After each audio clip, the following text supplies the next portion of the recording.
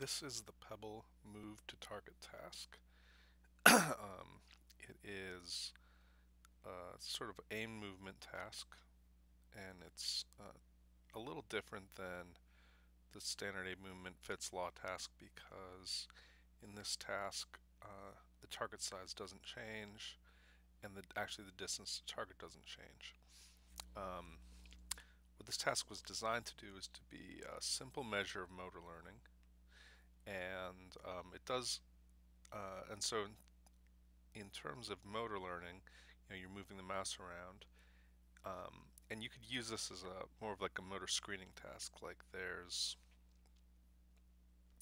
the CanTab battery has one called the motor screening task which is basically like this. A target appears on the screen and you have to touch it uh, using a touch screen.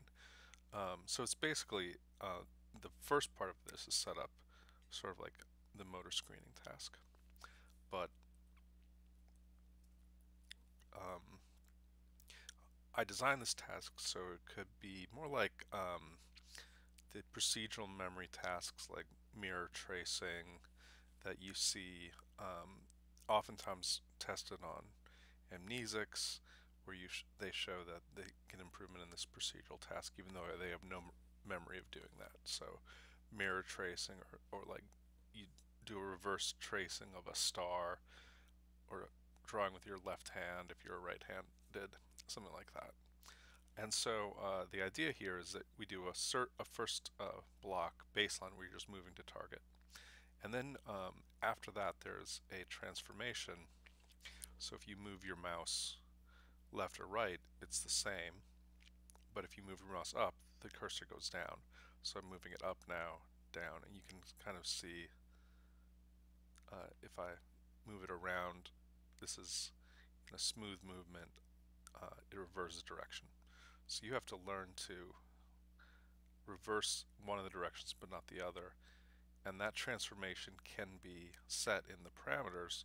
So if you don't want it, uh, transformed, you can set to no transformation, then have a bunch of sessions of just standard movement. Then it's very much like an movement task or sort of like the pursuit rotor task and um, or you can theoretically do this a few different times because you can do different transformations. Flip the left not the uh, up and down but not the left and right and see how long it takes people to adapt and get better at this.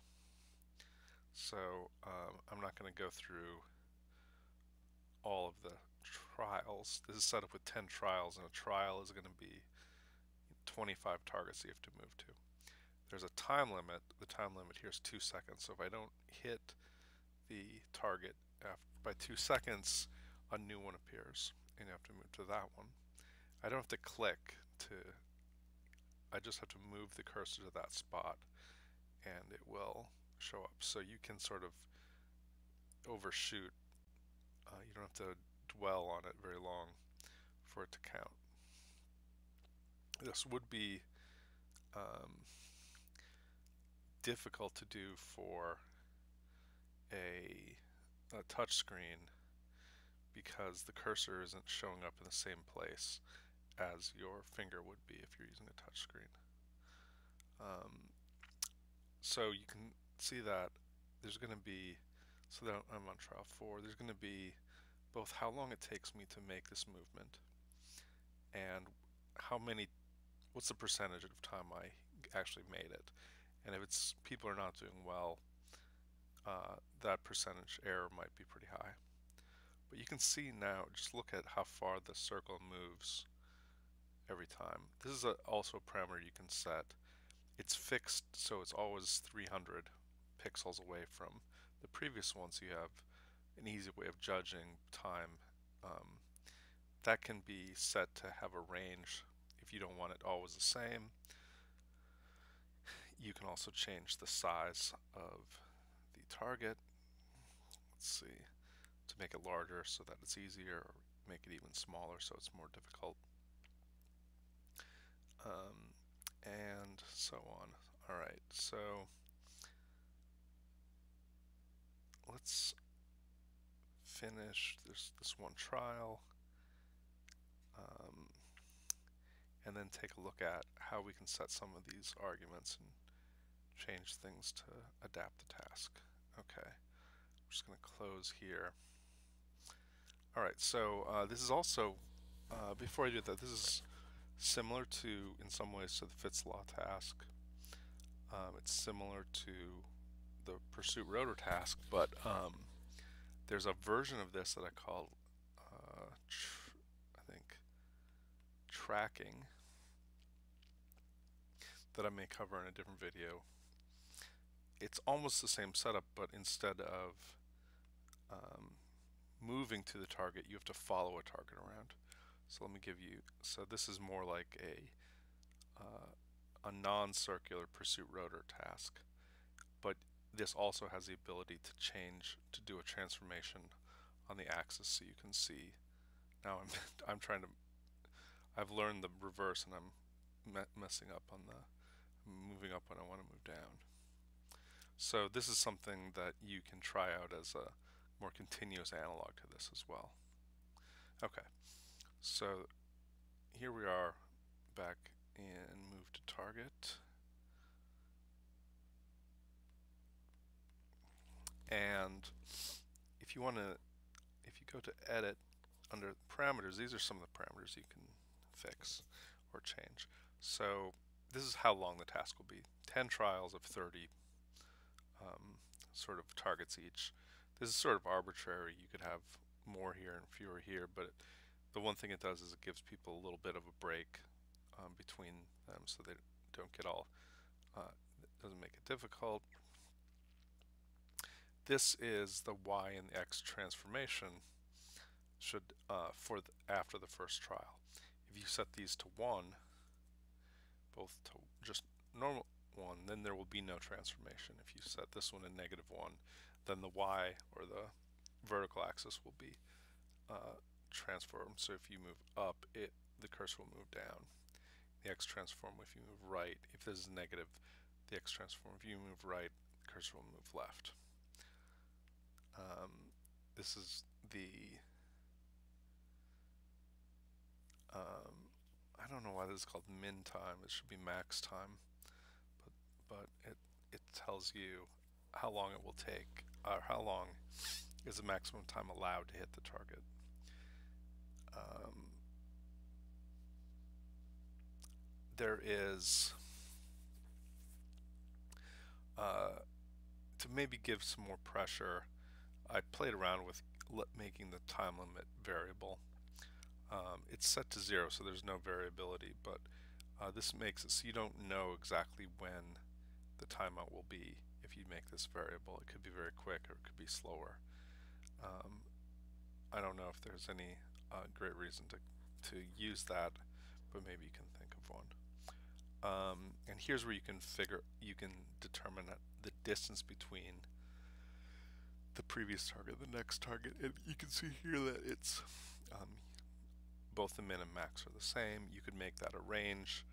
Um, I don't know you could probably break it if you made the minimum larger than the size of the screen or um, the maximum smaller than the minimum or something like that. You'd never satisfy these things, but it does a pretty good job of of sampling until it finds something that satisfies th this. Okay, so those are some of the parameters and let's just, so we can get through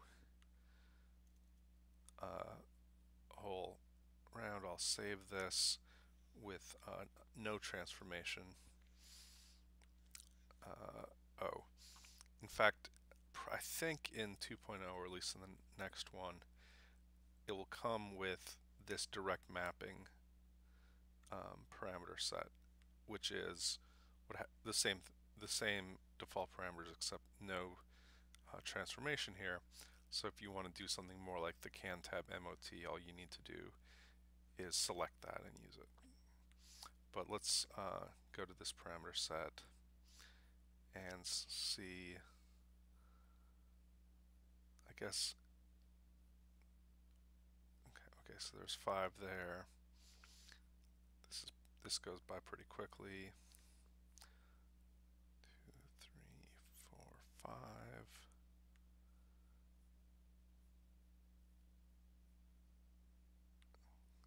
And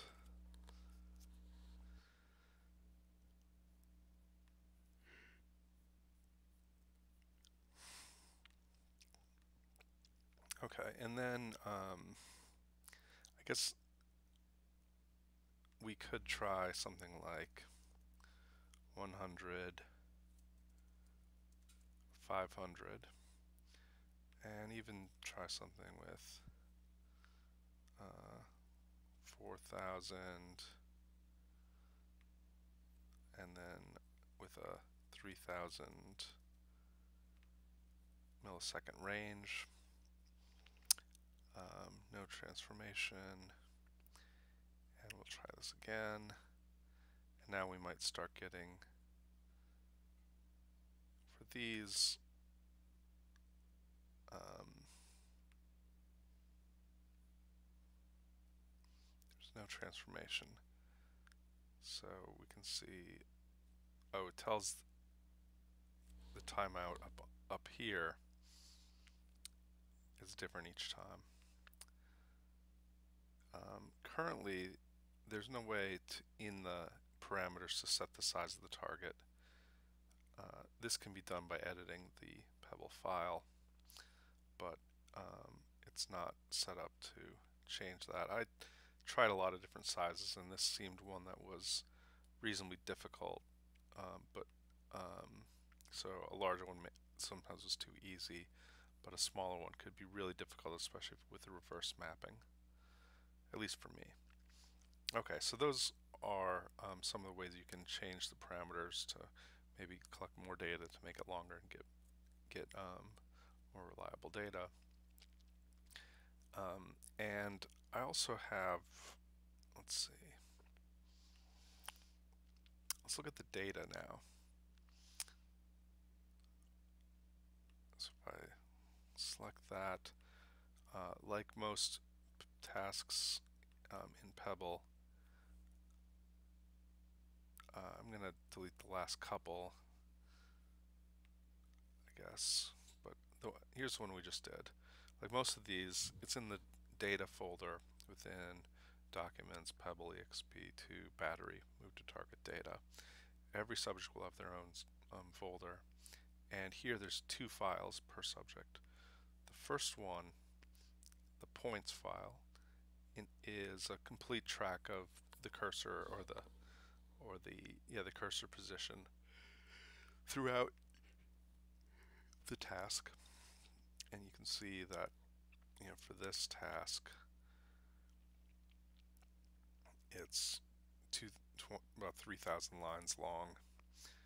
And I'll have the subject number of the trial how many steps through it the transformations um, a label indicating is this a um, I think that indicates if it's if it's a transform or non-transform trial.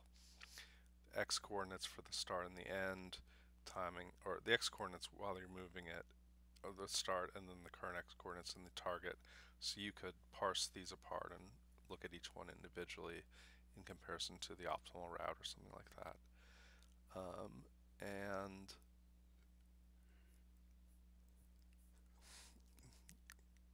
let's see, and the timing for how long is given in that. Similar things are recorded, but just once per trial in the summary um, file. So here we get um, trial is you know a set of five movements to target, and we see a lot of the same columns, but but now there's just one row per response. So you can measure how long it takes or whether they're accurate. And um, what might be interesting is to look over time. Are people getting more and more accurate? Are they move, making movement faster or more accurately? And so uh, to do that, I have written a R markdown